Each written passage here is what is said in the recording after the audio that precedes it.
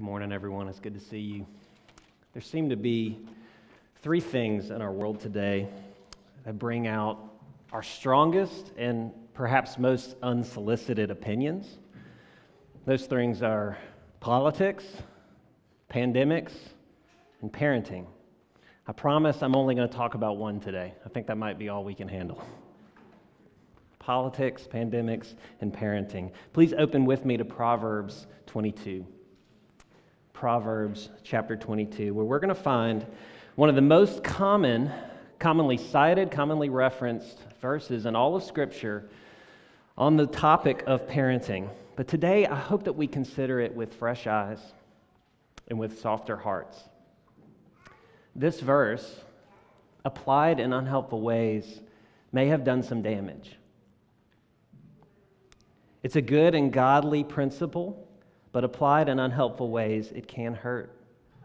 And so I'd like for us to look at it through the lens of all of Scripture and understand it well.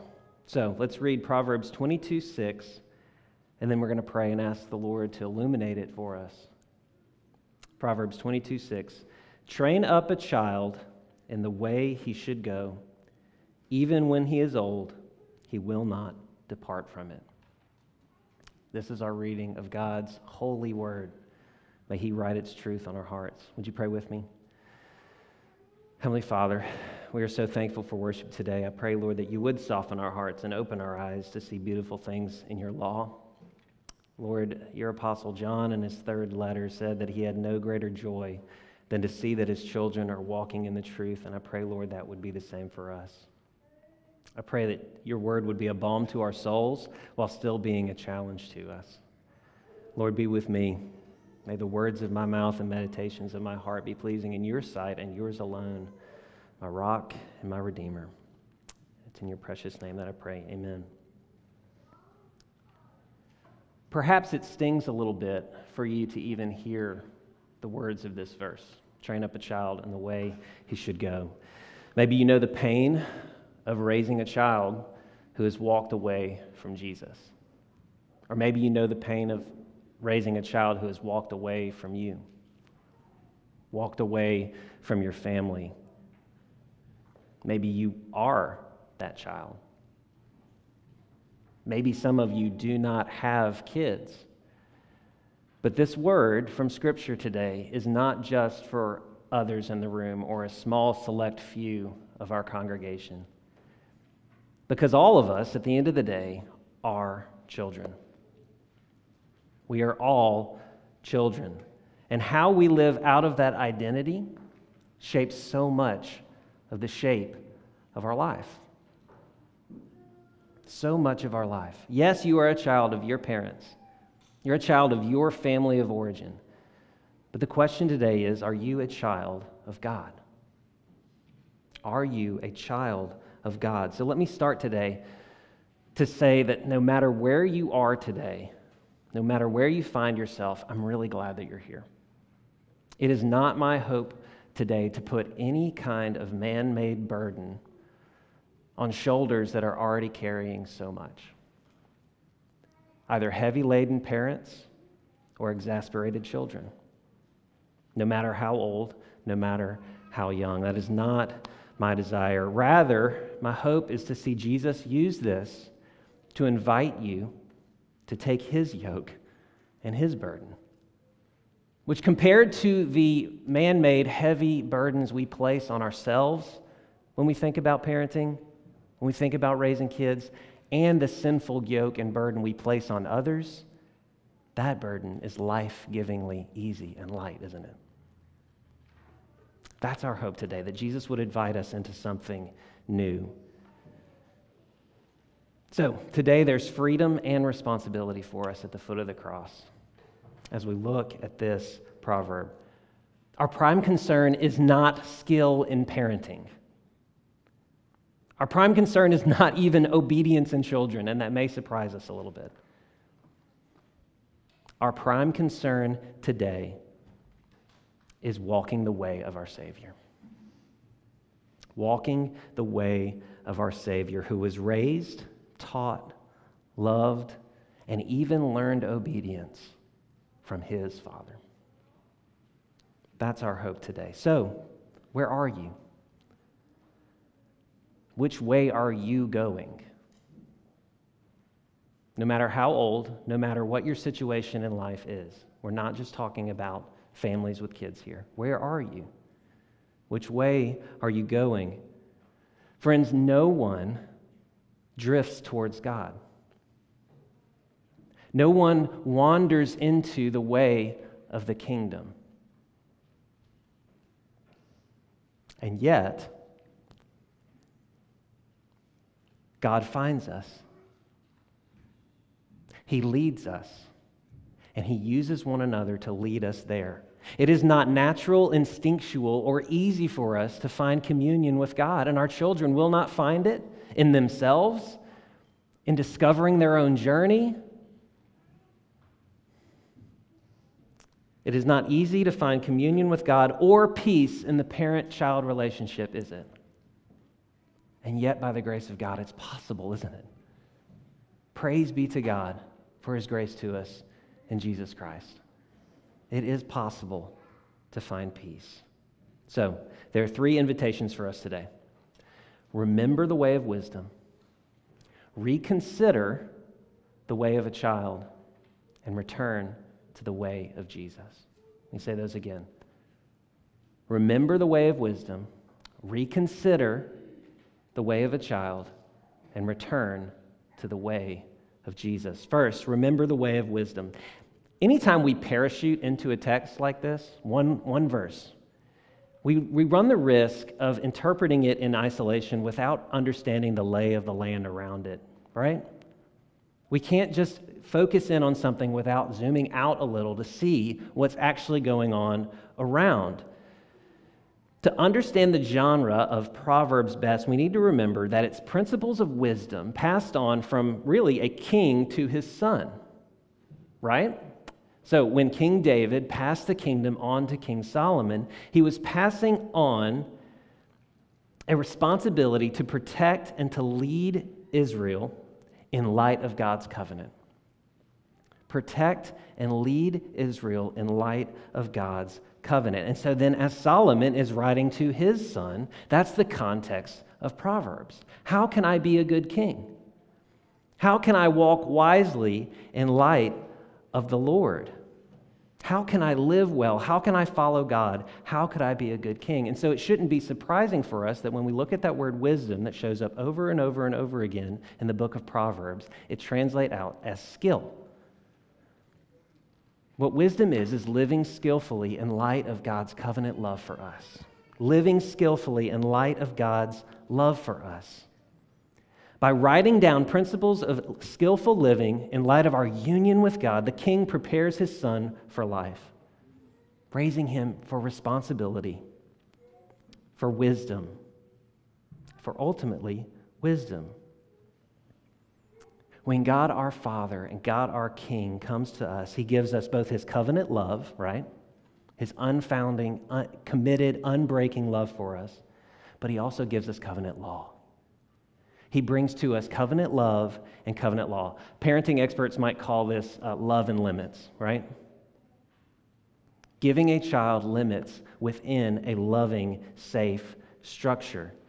He gives us his love, his law, and he teaches us to walk in them. So, what the, the message of Proverbs could be summarized as such God gives us safety, structure, care, and loving discipline in the covenant, so then walk this way. Walk this way. And what Proverbs does over and over and over again is it compares and contrasts the two ways that a child can go. A child can walk in the way of righteousness and wisdom, or a child can walk in the way of foolishness. A child can walk in the way of justice, or a child can walk in the way of injustice and wickedness. One is walking with God, living with skill that comes from a heart that's rooted and grounded in the love and limits of God. Can you feel that? Rooted and grounded in the love and limits of God. There's safety, there's freedom there. The other is rejecting the love of God and disregarding his limits. Two ways to live wisdom or foolishness. And it's important to remember for us that Proverbs, the book itself and the genre of wisdom literature, is by nature generally true. Proverbs is not law. And thus it does not make absolute promises. Here's an example. Proverbs 15:1 says this, "A soft answer turns away wrath, but a harsh word stirs up anger." Right? We know this to be true. And even non Christian relational experts have shown that a soft startup coming into a conversation with, a, with softness and gentleness is the foundation for a healthy interaction, right? But we also know that a soft answer does not always turn away the wrath of someone who is intent on voicing that wrath. Just read the comments section on a political post or a pandemic post. Oh, wait, I said I would only talk about one. We know that a soft answer generally turns away wrath, but it does not always. It's still true. It's still a godly principle, but it's not an absolute promise of the outcome. Does that make sense? It's not an absolute promise of the outcome. So, if, if we approach Proverbs 22 6 and expect some kind of guaranteed success, if we train our kids a certain way, we are setting ourselves up for profound disappointment at best or deadly pride at our own skill in parenting or even spiritual abuse at worst. Let me say that again. If we approach Proverbs 22 6 as an absolute promise of outcomes, if we do something a certain way, we are setting ourselves up for profound disappointment at best spiritual abuse, deadly pride at our own works, our own skill in parenting at worst. Good parenting it does not guarantee the outcome of children, spiritual or otherwise. Consider Isaiah 1 2. The Lord has spoken. Children I have reared and brought up, but they have rebelled against me. God Himself raised Adam, Eve, Israel as his sons and daughters. Friends, look at me. The quality of the parenting was not the issue. Do you hear me? The quality of their parenting was not the issue. They had the best father. So, what's going on here? Let's turn to the text and let's see if there's another way to understand this important principle. So, we've seen, we've remembered the way of wisdom. Let's turn and reconsider the way of a child. Most English translations render it for years, centuries, kind of what we see here in the ESV.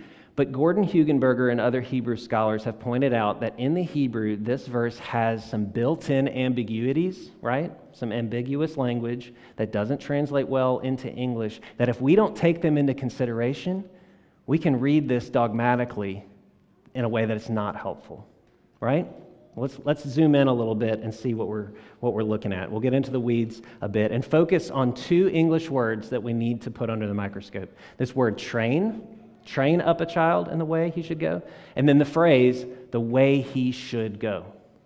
We're going to look at train and we're going to look at the way he should go. The word here that's translated as train is rarely translated that. It most naturally refers to beginning or dedication or initiation or inauguration. Imagine someone dedicating a temple or dedicating a building, right? This is the purpose for which this is built. This is what this is for. About 17 times it's used, and most of the time it's used, that's what it has to do with dedication or inauguration or initiation. So, why does this matter? This may have more to do with a parent's posture towards the identity of their child than the activity of training that child. Training or dedicating or initiating has to do with the beginning of their life, their, the parent's posture towards that child's identity more than the activity or training of that child. The point here is that the beginning of a child's life, the initial path, the initial, initial way of a child's life matters in the long run. The purpose and direction of a child influences and shapes their life. Next, look at me, look with me the, the second part of that first part of the verse, in the way he should go. Without getting too deep in here, what's important for us to know is that there's really no reason for us to insert that English word should. This is just third person singular, in his way. If there's any English word we need to insert here, it's his own way, like possessive. Dedicate or initiate a child in his own way and even when he's old, he will not depart from it. Putting these two pieces together, we may be surprised to find that this proverb is not a promise for good parenting. It's actually an ironic imperative. It's actually telling us to do the opposite of what we should do. In a way, it's sarcastic. And this actually has precedent. This is, this, we see this at other points in Scripture. Proverbs 19:27 says, "Stop listening to instruction, my son, and you will stray from the, my words of knowledge. Cause consequence. Have any of you ever interacted with a toddler that absolutely wants to do the very opposite of what you tell them to do? With one of ours, we found that instead of telling them, sit down in your chair or stop standing up in your chair, we flipped and we started saying, stand up in your chair one more time and your toy will go into timeout. And at that point, they're like, okay, then sit down telling the opposite to be true and showing us what happens if we were actually to do that. An ironic imperative. Friends, the point here is that the habits and the allegiances of the human heart are hard to break. Your family of origin has lasting effects on our hearts, our minds, and our souls. And the same is true of the children, your children and your family, the children growing up in this church, who grow into adults, who might have children of their own one day. So, as we look at this verse, we need to hear both the good news and the hard news. The good news and the hard news. 22 6, Proverbs 22 6 is not a promise of good outcomes for good parents. This is good news for many of you operating under the weight of believing that your children are a reflection of your performance as a parent. That is a burden that you cannot bear.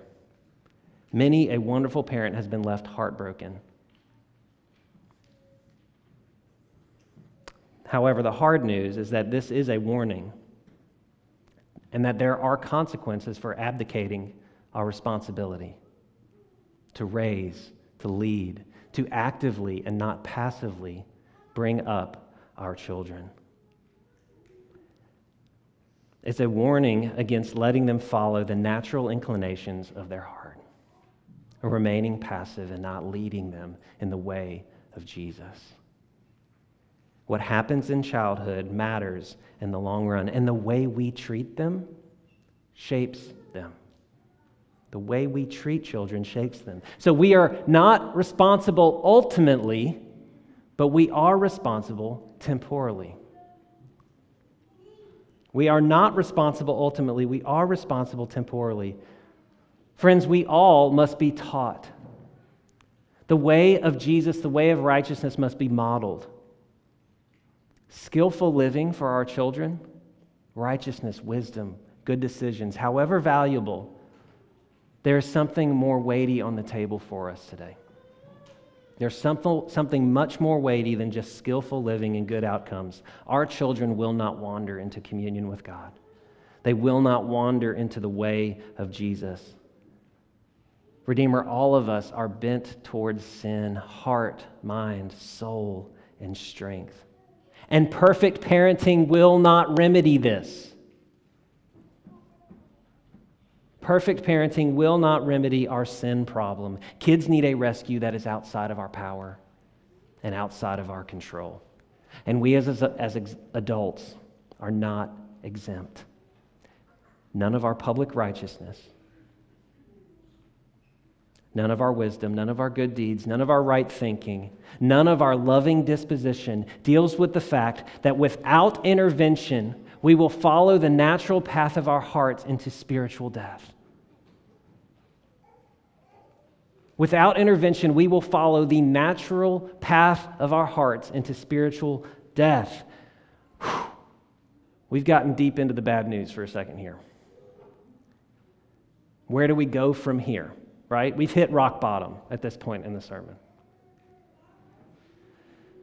Who is sufficient for these things? We have nowhere to go except to return to the way of Jesus.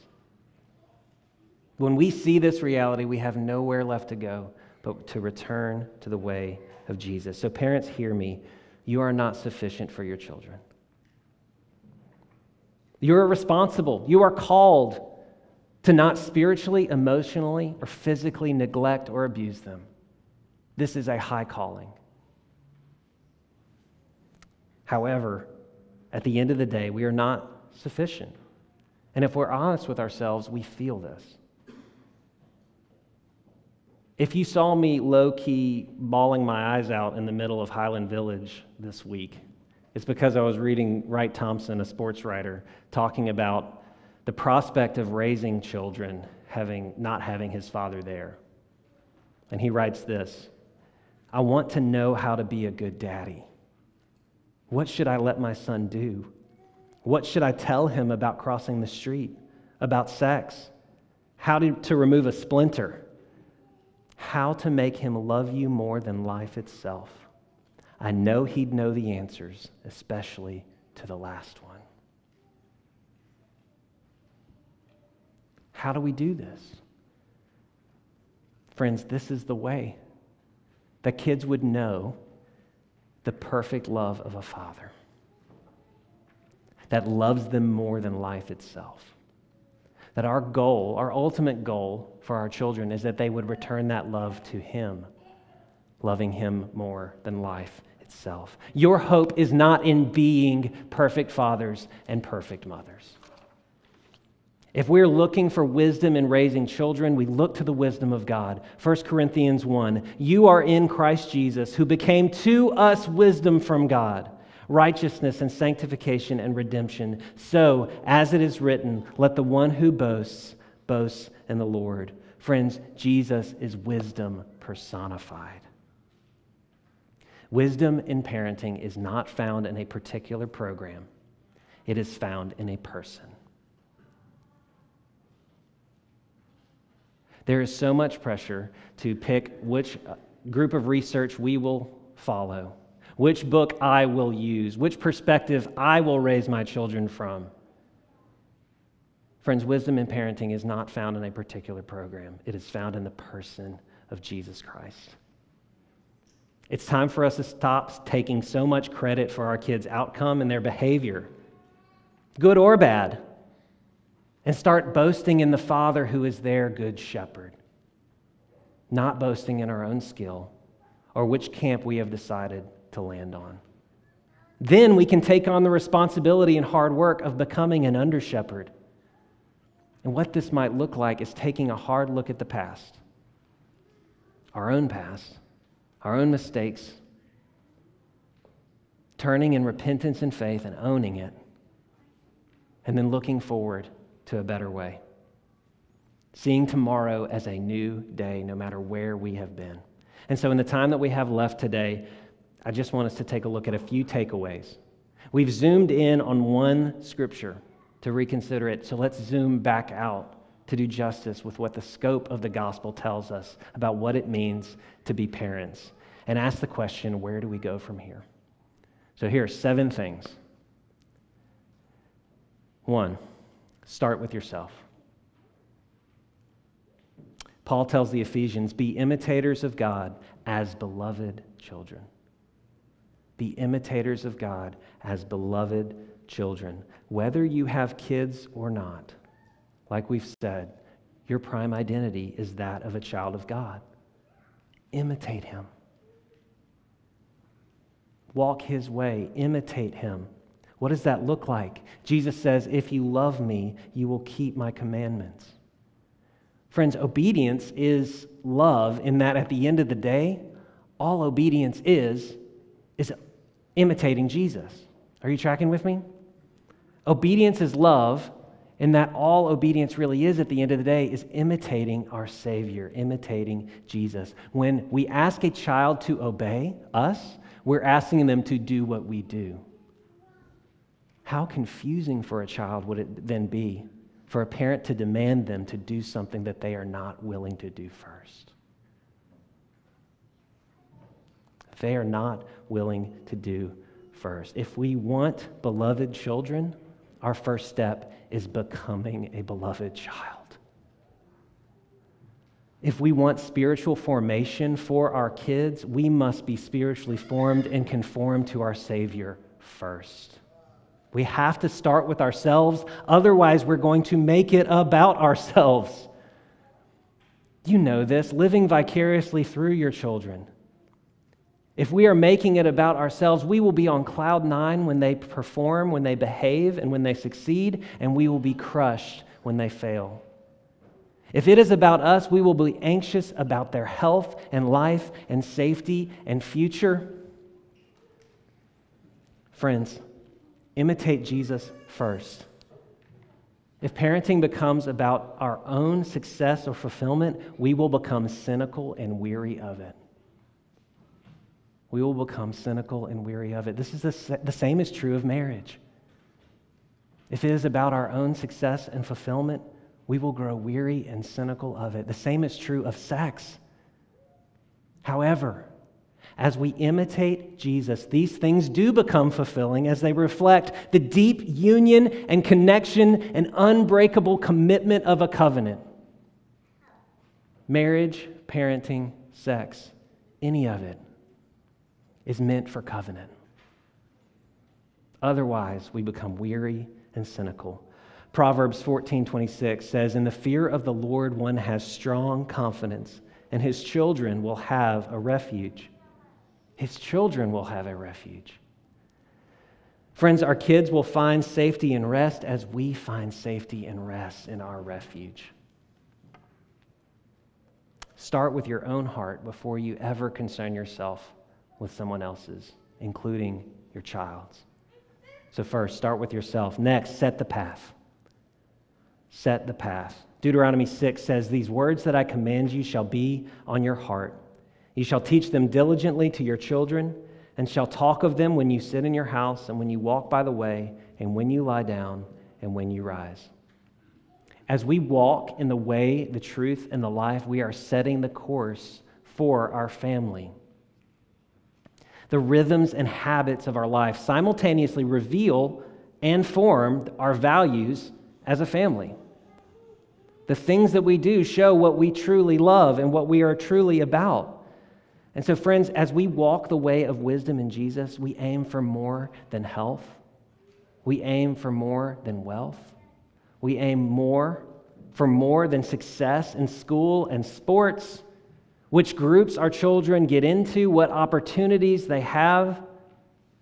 Setting the path towards Jesus is so much more than what music we let them listen to, what movies we let them watch, whether we homeschool, private school, public school, whether we're on the travel soccer team or whether we have perfect attendance at church. It is so much more than this. The, these externals, are, they matter. And like I said, they do shape what's important to our family. But no child was ever ushered into the kingdom of God through superficialities. No child was ever ushered into the kingdom of God through superficialities. That your child would enjoy a good life, make wise decisions, and become a well adjusted adult is fantastic and good and a great goal. But in the words of Jesus, what does it profit a kid if he gains the whole world and forfeits his soul? It's appropriate for us to ask what do the habits and rhythms of our families reveal about what we truly value?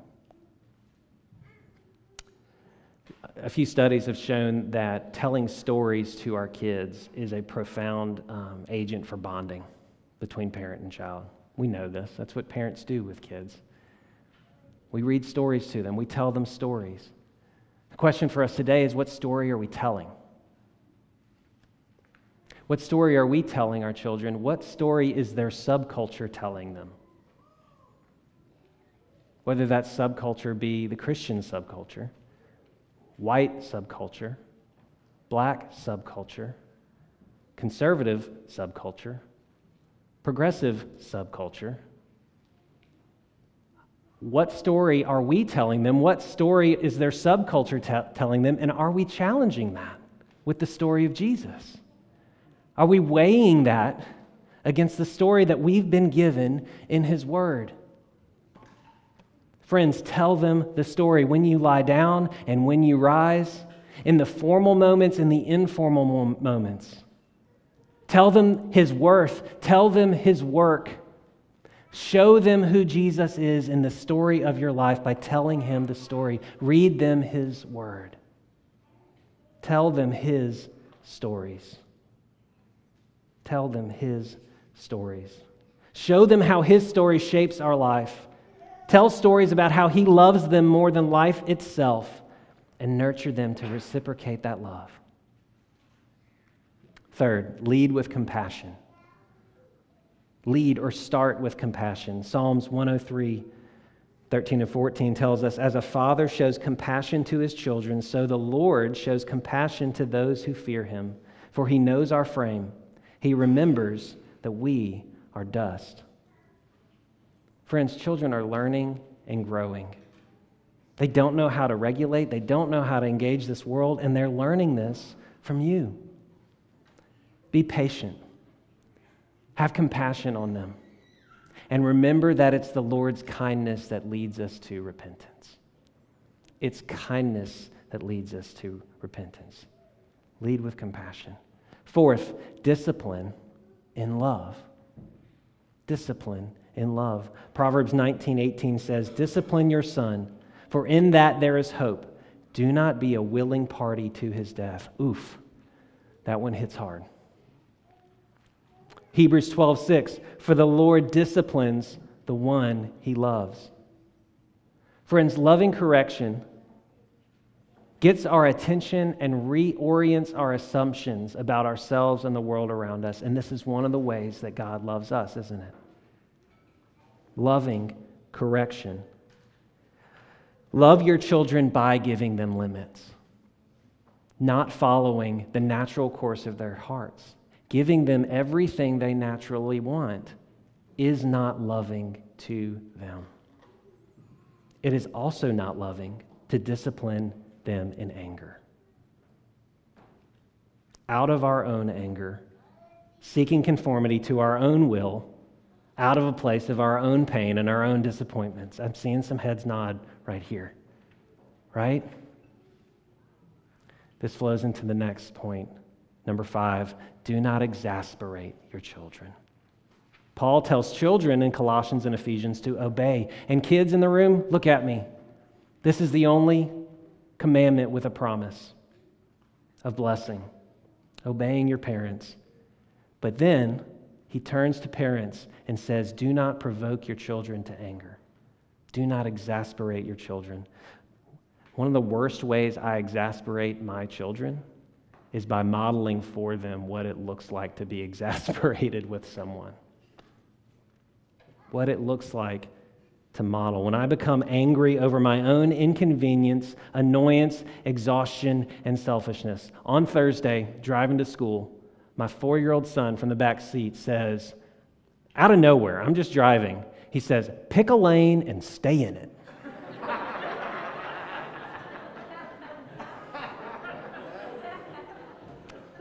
I don't know where he heard that.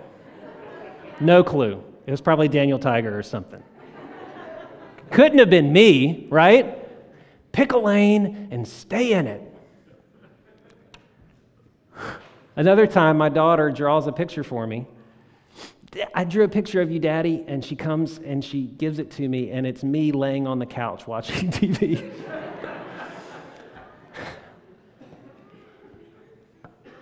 they learn from us.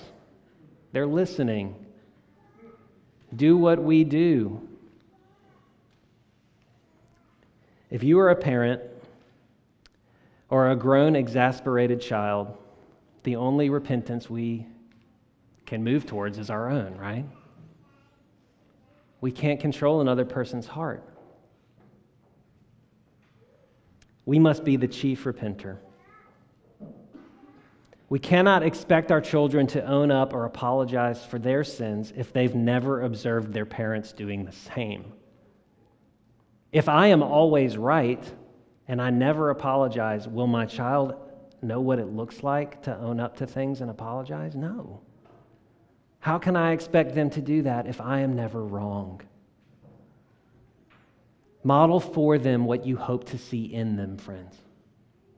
Model for them what you hope to see in them. I have to be the chief sinner in my family, consequently, the chief repenter, repenter if I'm the chief sinner.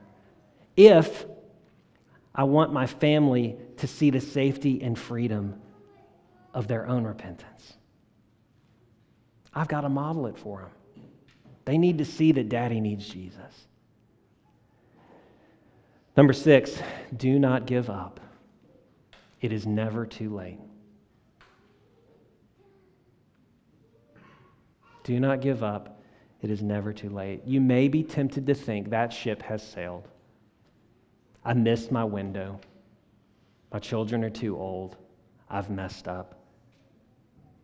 And though Proverbs 22 6 does say it is hard for a child to change course if they have been given their own way, given over to their own way, we believe a gospel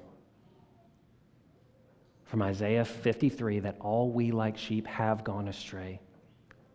We have turned everyone to our own way, and yet the Lord laid on him the iniquity of us all. We have a gospel of people who have strayed, who have been brought back, and a Savior who leaves the 99 to find the one. This is why it's such good news that Proverbs are not absolute promises, that it's generally true, but that anyone can return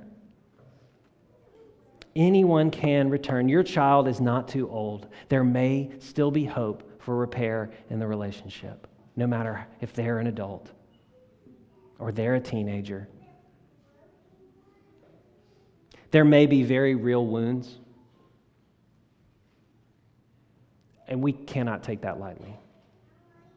There may be very real hurts, and reconciliation may not be possible. However, even prodigals like you and me can turn in faith and repent. The good news is that anyone can come home. And even if they don't, we trust that they have a better Savior and a better shepherd than we could ever be. And we have a better Savior, they have a better Savior and a better shepherd who often moves in mysterious ways. Do not give up. It's never too late. And finally, you are not alone. Sometimes leading our children to Jesus means admitting that we are not enough and asking for help while living in community, right?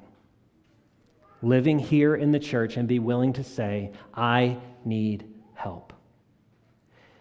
In the church, humbly inviting others to fill the gap and allowing people to keep their baptism vows that they made a promise to assist this parent in the nurture and admonition of the Lord. And friends, those of you who do not have children, this is one way that we can all raise children in the Lord by keeping those covenant vows. I saw this at work recently.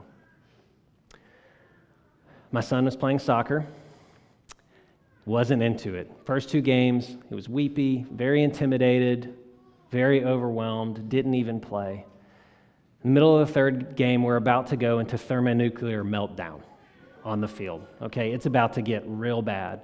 And I walk up to him, but then the coach of the other team walks up to him. We were playing against another, with his four year old boys from Redeemer. We have two whole teams worth of four year old boys for Redeemer. I'm huffing and puffing, wearing my mask out on the field.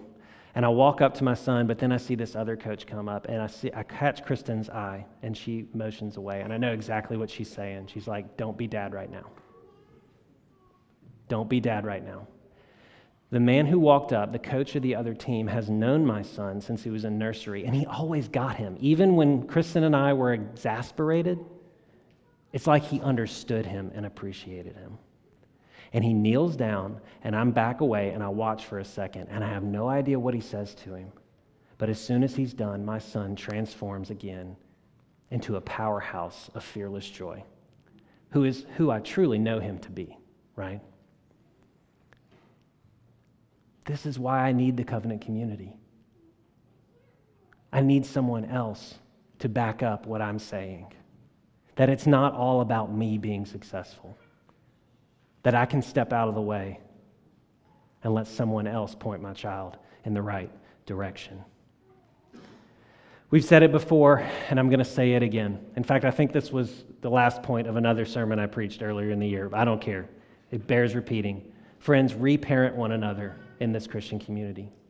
Refamily one another in the body of Christ because no matter what kind of family you come from, we are now family here, and there can be healing here. There can be healing here. 1 Thessalonians 2:12 For you know how like a father with his children we exhorted each one of you and encouraged you and charged you to walk in a manner worthy of God who calls you into his kingdom and glory. My heart did not wander into the kingdom of God or the way of Jesus. I had to be led there. First by my Father in heaven, then by my earthly mother and father, and now by you.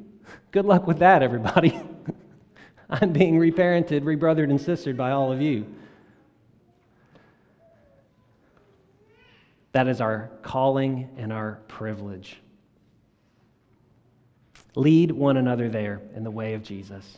Lead our covenant children to follow the way of Jesus. But first, turn in repentance and faith to be led by the kind, compassionate, and firm hand of a father. No one in this room no one watching from home is outside of his reach, and none of our children are outside of his reach. Let's pray. Heavenly Father, we confess our inadequacy and we rejoice in your sufficiency. Lord, we are in all kinds of different places here overwhelmed parents, exasperated children, old, young, but Lord, we're all in the same spot. I pray, Lord, that we would be children of God. Thank you for that promise. Thank you for loving us. We need your help. Most of all, thank you for Jesus, who was a perfect son on our behalf. You are a good father, a good, good father. And it's in your precious name that we pray. Amen.